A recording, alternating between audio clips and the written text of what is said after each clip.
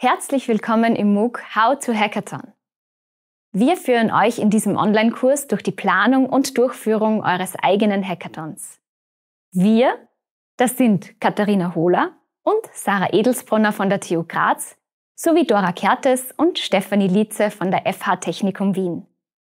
Wir haben im Mai 2022 gemeinsam den E-Accessibility Challenge Hackathon durchgeführt, aus dem auch alle Videos und Beispiele stammen.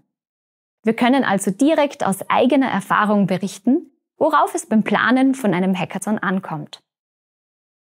Hackathon, das klingt für euch nach Computerhacken irgendwie kriminell? Nun, Hacking bedeutet in dem Kontext, Probleme kreativ zu lösen.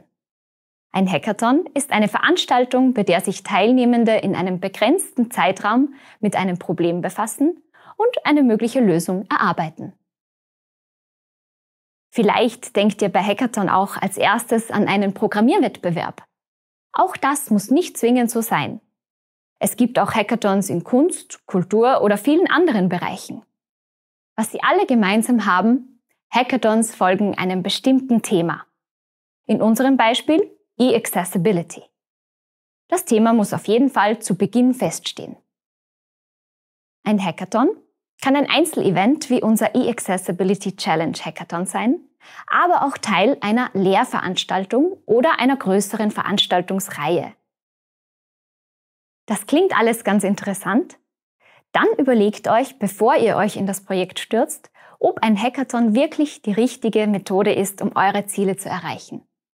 Hackathons sind geeignet, wenn ihr vorhandene Talente und interdisziplinäres Wissen in einem Crowdsourcing-Setting zusammenbringen möchtet, selbstgesteuertes und dynamisches Lernen der Teilnehmenden fördern möchtet, eure Lehre oder Arbeitsumfeld abwechslungsreicher gestalten und Teambuilding fördern möchtet, oder wenn ihr auf der Suche nach neuen kreativen Lösungen für bestimmte Probleme seid.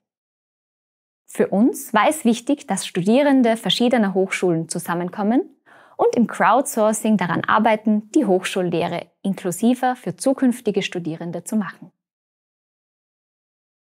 Einen kleinen Hackathon für eure Lehrveranstaltung könnt ihr vielleicht alleine organisieren. Aber einfacher ist es mit einem Projektteam, damit ihr euch die Vorbereitung aufteilen könnt. Oder damit schon in die Vorbereitung verschiedene Fachbereiche oder Talente involviert sind. Vielleicht gibt es auch Fördermöglichkeiten für euer Projekt. In unserem Fall besteht das Projektteam aus Mitarbeiterinnen der FH Technikum Wien und TU Graz. Unser Fördergeber ist das Forum Neue Medien Austria.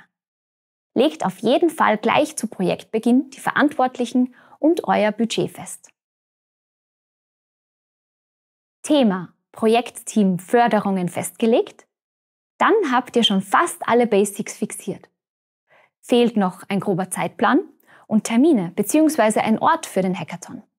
Der kann natürlich sowohl online, vor Ort, als auch hybrid stattfinden. Unser Hackathon hat in Wien stattgefunden. Einige Personen haben sich aber per Videokonferenz dazugeschaltet. Wir hoffen, ihr habt damit einen kleinen Einblick in die Basics bekommen und jetzt Lust, selbst einen Hackathon zu veranstalten.